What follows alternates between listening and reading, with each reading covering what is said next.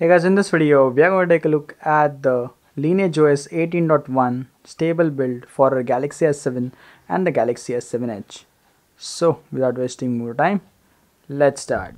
So guys, this is the February update of the Lineage OS 18.1 for our Galaxy S7 and S7 Edge and yep, we have a fully stable build with hardware composer uh, totally fine and fixed. So this is Android 11 18.1 lineage OS version then February 5 2021 security patch and yeah that's our basic normal kernel and this is the Feb 5 build so this is the latest one of all. So guys lineage OS 18.1 is just a minor update over the 18.0 just a normal version bump now in terms of development it means to improve the code and for normal users it is just a number to be added up to there to you know just get an update over it. But yeah other things the basic things are normal. Everything is same. You won't get any extra stuff. It is just an improved version of the lineage OS Android 11 so let's click on the display option and here we have nothing. Everything is same. But if you explore more you get a tap to wake option. Let's see if it works okay it works but there is a delay and it does not always work. Okay so i'm just having my conclusions that it does not work because it is just a one time thing and it did not work after that so yeah and here we have a live display option and we have a lot of options here. Now normally if i use my redmi phone and if i choose live display option i will get one or two options. But here we have a lot of options and which says the automatic outdoor mode this is anti-flicker this is color calibration so we have kcal. Then color uh, temperature you can also adjust the screen temperature.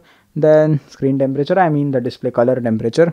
And then we have display modes uh, various modes day night outdoor and then we also have color profile dynamic standard natural cinema adaptive. The default is adaptive in most of the devices. So yeah here uh, in the uh, lineage OS it's been set. Then screen timeout and just basic stuff. Here is advanced display and you can choose scenario accordingly. If you are shooting a video then you can choose a video or use the camera mode. Then navigation gallery. Everything has its own scenario mode. So wow. Then we have accessibility mode and you can also uh, get into these functions through the accessibility tab. Now this is just the normal stuff uh, the lineage stuff. Uh, and if you want to see some customizations oh sorry it's into the system.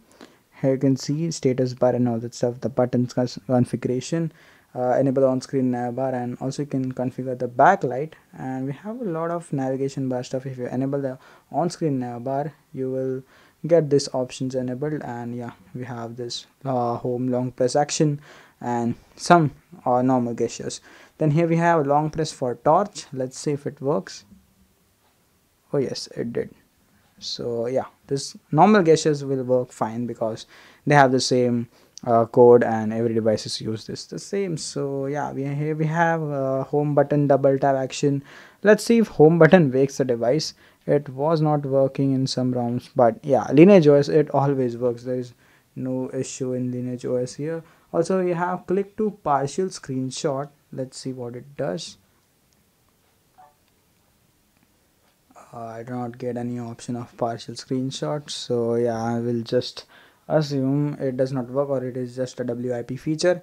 But yeah that is it for the display options and the configurations which are present in the lineage OS now to change the status bar items you have a separate tab here for the status bar. Quick pull down network traffic monitor system icons clock position battery style and just the brightness slider stuff. Then into gestures we also have quickly open camera the normal regular stuff the power menu and prevent ringing. And yep that is it for the uh, features of the lineage. OS. This is the updater but it won't work because we are unofficial we are on unofficial build and the updater only works for official builds. Now guys this ROM comes with a camera but my GApps have replaced or have removed the camera app. So sorry I could not show you the camera but it works fine. Uh, if you want to check if the camera works just turn on the flashlight. If the camera is broken the flashlight is also broken. Like that's how I check in some ROMs if the camera app is missing. And if you're really lazy to install a new app while you have already set some apps to install but yeah that is it. You can install opencam if you are using FlameGApps or any other gapps which replaces the stock apps.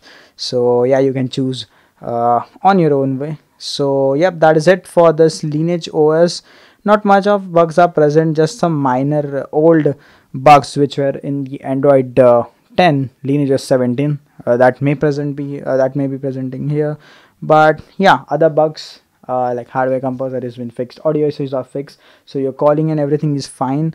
Uh, VoLTE will not work so please don't ask if volt is working fine or not. It will not work guys. You can also only use your normal 3g or 4 or uh, 3g voice calls or 4g voice calls if it is there or like that. So yep that is it. If you guys like the video then please press the like button. If not press the dislike button and you can also uh, share your comments or views in the comment section. And that's it.